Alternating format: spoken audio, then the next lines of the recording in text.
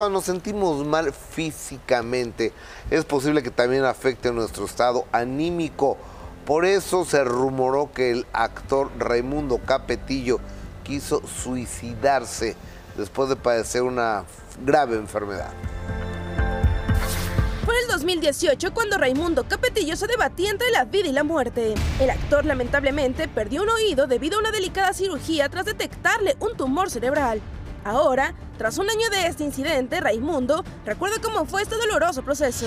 Eso fue de consecuencia de una cirugía, del problema que yo tenía, este, en el cual la arteria, eh, la arteria que pasa por acá en el al cerebro, este, pues al pasar la sangre, que la arteria es fuerte, vibra y, este, y tenía pegado, unido los los nervios, sistema nervioso, sistema este, trifásico y todos esos, eh, entonces se empezó las convulsiones y, y, la parálisis y todo, todo eso, que ya, ya ni me acuerdo.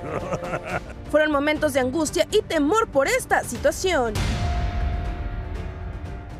Y pues susto y tiempo y y bueno, pues sí, cosas difíciles, pero bueno, eh, después de todo dices, estoy vivo.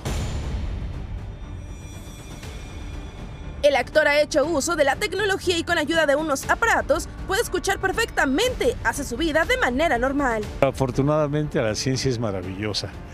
Bueno, y si usted ve el close de los dos oídos, este, ya hay equipos maravillosos como estos que permiten ya poder, por eso digo, eh, hasta que lo encontré además, ¿eh? sí, un, este, un equipo sensacional que me permite, porque es muy baja la, la capacidad de lo, lo, que quedaba del otro oído, en cambio, y del otro nada. Entonces, eh, con ese poquito de capacidad estamos trabajando al 100%.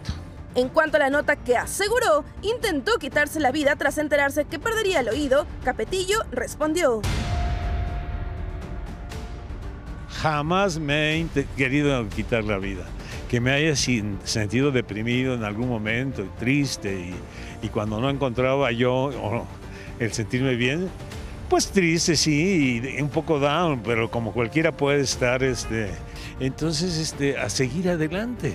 Y tantos compromisos de vida, de familia, pues eso, eso era todo y de pronto no poder hacer nada, pues no me digas que la va a pasar contento, pero de eso a quitarme la vida.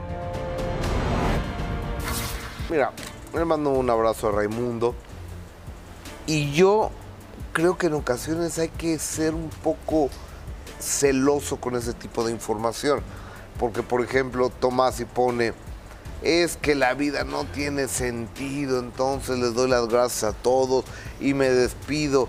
Nomás le faltó poner adiós mundo cruel. Sí. O sea, nada más. Entonces, pues no, pues es que era un estado depresivo porque tengo muchos problemas. Entonces este fulano, el que fue su marido, no me deja en paz. O sea, finalmente, ¿qué ganó? O sea, la, la o sea, que a la gente le dé casi como lástima, como lástima penita y, demás, yo creo que eso no abona a una persona.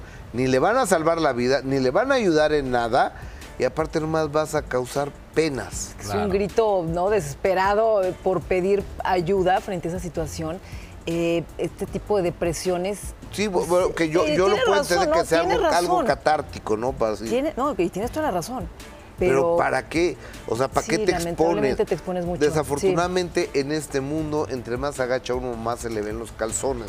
Entonces, pienso yo, no, no me ha pasado, gracias a Dios, pero mejor ir con un profesional, no, un psiquiatra, un psicólogo, o sea, que, te dé, no sé, Y luego también puede pasar como el chiste de Lobo, que de, Pepito de Lobo, que cuando realmente ponga algo, cuando esté realmente serio, ya no le van a creer tan bien, porque van a decir, ay, es el que siempre pone cosas así.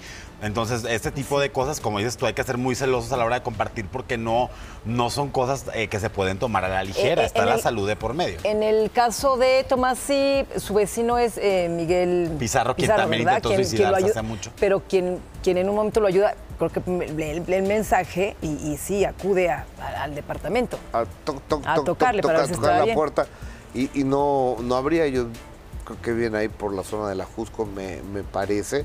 Yo tampoco quiero, quiero mal informar, pero, pero lo mejor de todo es darle gracias a la vida, porque el milagro de vivir, de abrir los ojos, de ver el sol, de tener la oportunidad de respirar el aire, o sea, eso ya, con eso debemos sentirnos ganadores, porque Ay, hay sí. mucha gente que no lo tiene, que no lo puede.